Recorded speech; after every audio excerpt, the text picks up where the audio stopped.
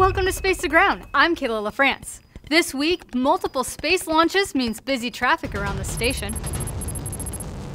On Tuesday, the Japanese Aerospace Exploration Agency, or JAXA, launched a cargo vehicle to the International Space Station following a successful second attempt. Developed and built in Japan, the H-2 transfer vehicle, HTV, is known as Kounotori, which means white stork in Japanese. This uncrewed cargo spacecraft delivers science, supplies, and large external payloads to Earth orbit.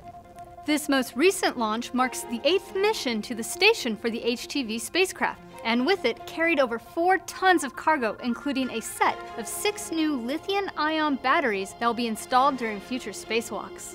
NASA astronauts Christina Koch and Andrew Morgan will welcome the HTV-8 when they capture the cargo craft with the Canadarm2 on Saturday at about 7.15 a.m. Eastern.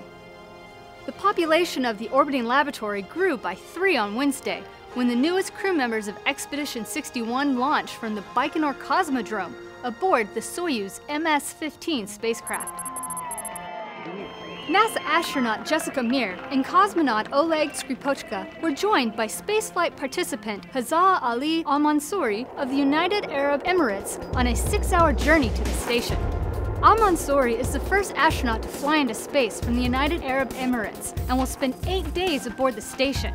He'll return with cosmonaut Alexei Ovchinin and NASA astronaut Nick Hague in October, which we'll cover live on NASA TV. The eight days between the trio's arrival and the departure of Soyuz MS-12 will mark the largest crew the station has seen since September 2015, when nine crew members were there at once for seven days during Scott Kelly and Mikhail Korniyenko's year-long mission.